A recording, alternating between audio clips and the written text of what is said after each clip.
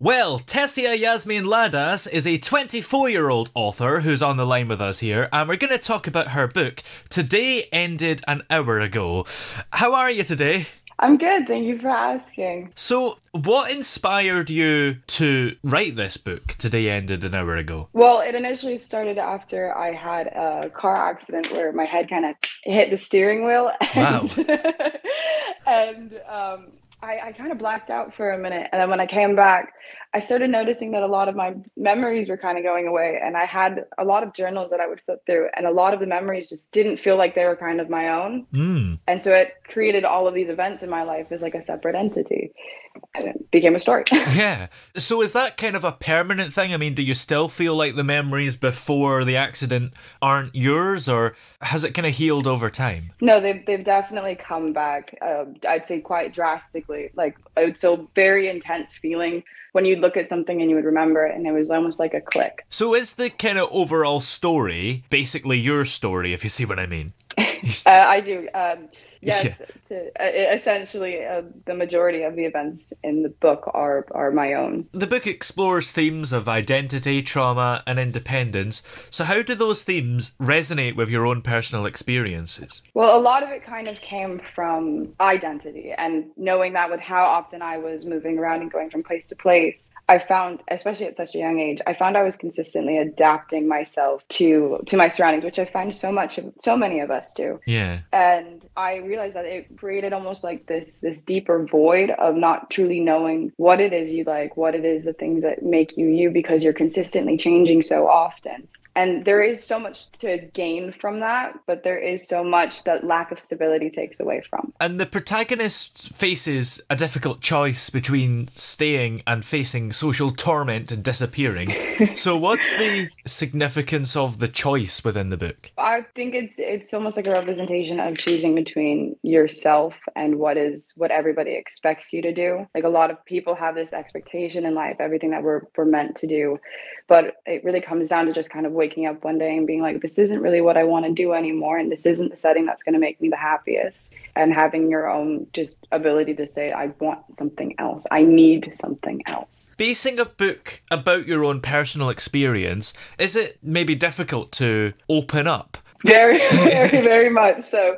I, um, yes, a hundred percent. I found that with I was always like use the expression "I'm an open book" because if anybody had asked me Yeah. questions about my life, I never really had an issue answering. But I found actually like wanting to willingly talk about it and bringing it myself was never really present there because well, one, it was just unnecessary. But it's a, so important that we express who we are to the people around us because otherwise we end up in things that we don't really gain a whole lot from and build from. And so writing a book about a lot of uh, personal things, it, it's healing and it's also very eye opening. How much of the book is real, and how much stuff did you kind of make up?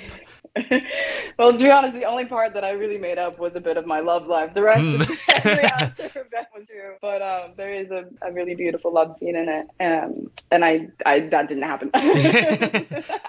Were you ever maybe hesitant to make stuff up, or did you feel it was maybe quite important to make the book a little bit more exciting? to be honest, no, I never really felt obligated to to make it more dramatic than what it was because Yeah. I the events that actually happened in itself were very I always like calling them shining. Like they were moments that you would be able to just pull out of a movie and just kind of look back at it and go, Wow, okay. Were there parts of your life that did happen that you maybe didn't have enough room for in the book, or you just didn't include because they were maybe not dramatic enough? Good question.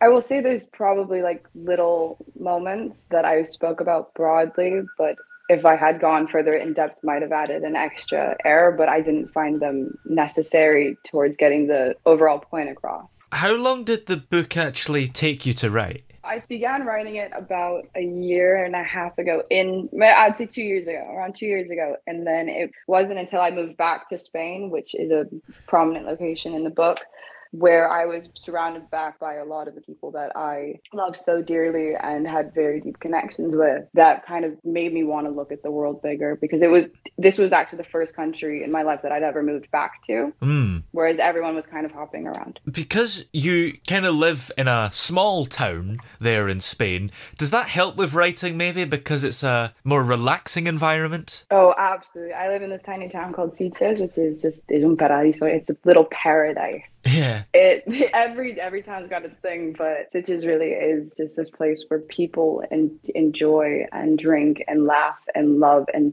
communicate Yeah, absolutely. It sounds quite idyllic because certainly in Britain, when you go on holiday, you always go to Spain. So to kind of spend your whole life there in a small village is maybe the perfect life for a lot of people. I, I think so i definitely think a lot of people can take away from these kinds of lifestyles which is why i think traveling is so important.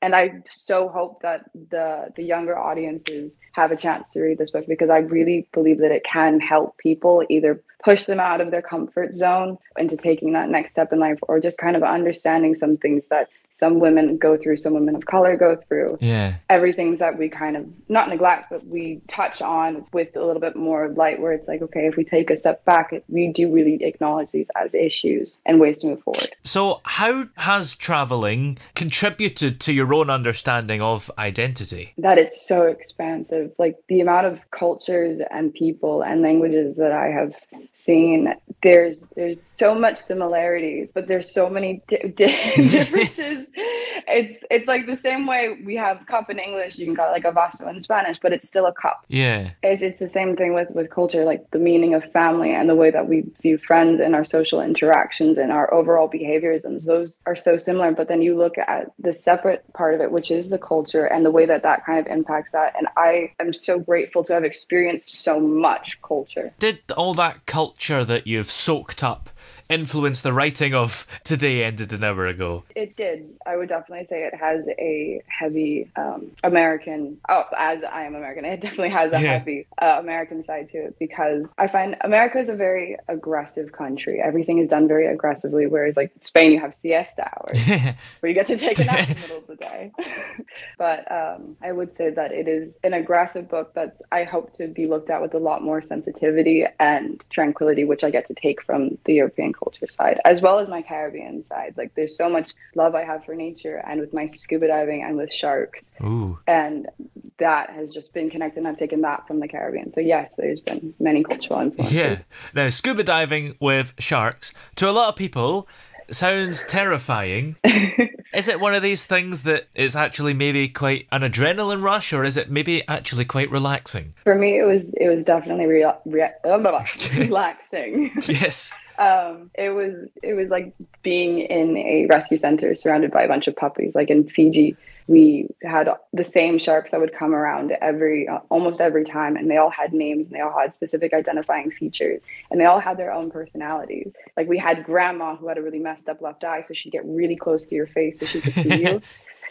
it, it was definitely an, an experience I believe everyone, even if you're afraid of sharks, should just acknowledge. So, if you ever come across some evil James Bond type villain that threatens to put you in a shark tank, you'll actually be quite excited by the prospect, will you? Oh, absolutely. I would sit at the bottom of the tank and I would just enjoy it. I would be like, what are you doing? yes. Maybe name him Fred. Have a nice conversation. Well, what do you hope the readers will take away from this book? Today ended an hour ago. That no one event should ever define you. That endurance and perseverance are to be taken at with with a whole heart and with open eyes rather than rather than the weight that we feel everything carries because it is like life life has life is heavy. Yeah.